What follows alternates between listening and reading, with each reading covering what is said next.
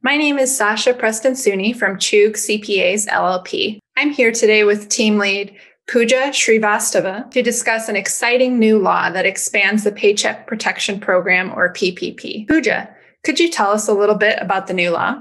Uh, sure, Sasha.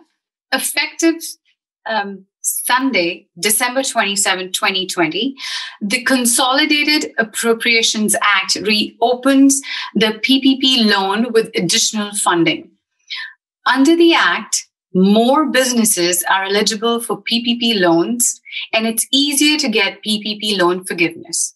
The Act even allows businesses to deduct expenses paid using the PPP funds on their taxes. This is great news for small businesses impacted by COVID 19. The new round of PPP loans, also known as PPP2, is available to first time borrowers and even businesses that have already taken out a PPP loan. Pooja, how much money can small businesses borrow for PPP2 loans? The loan amount for PPP2 loan is calculated based on an average um, monthly payroll cost up to a maximum loan amount of $2 million.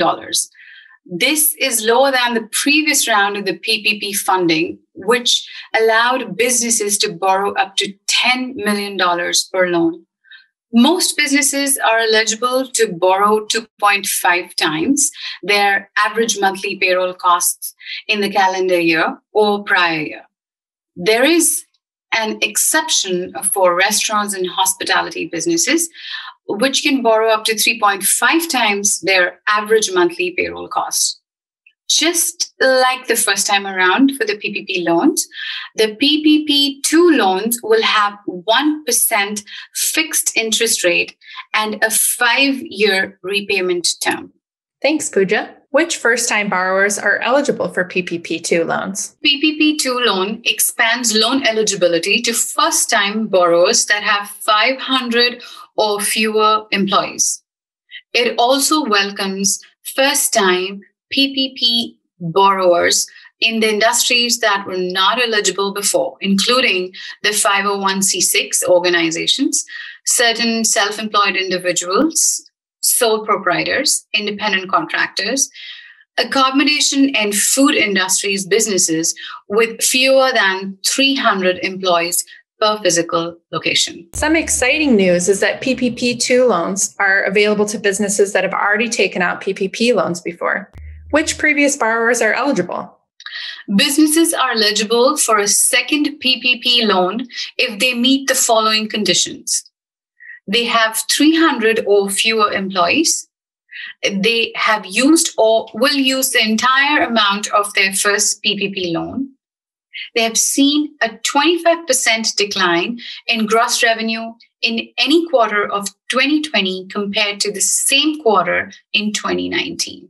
One of the most appealing things about PPP loans is that they are forgivable. What expenses can businesses spend their loan funds on and still get their loans forgiven? Borrowers must spend at least 60% of their PPP 2 loan proceeds on payroll expenses.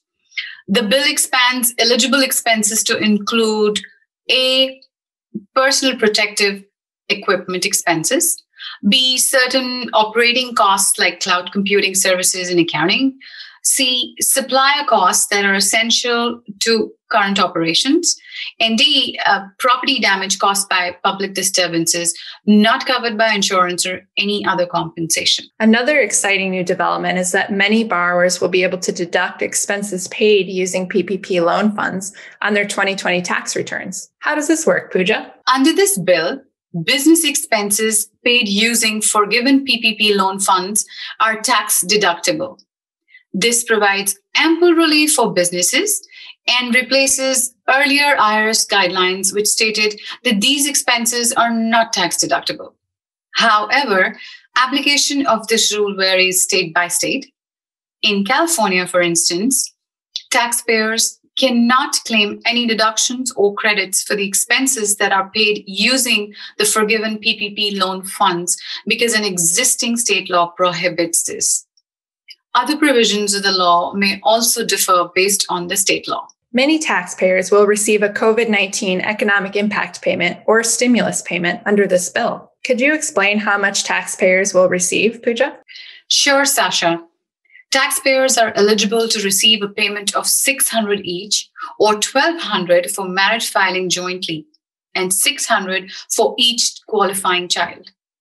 Payments are in the form of advance tax credit and are not considered a cash public benefit. The payment is reduced by 5 per additional 100 of income starting at $75,000 of modified adjusted income for single taxpayers, 112,500 for head of household, 150,000 for married filing jointly taxpayers. Certain foreign nationals are eligible to receive an economic impact payment.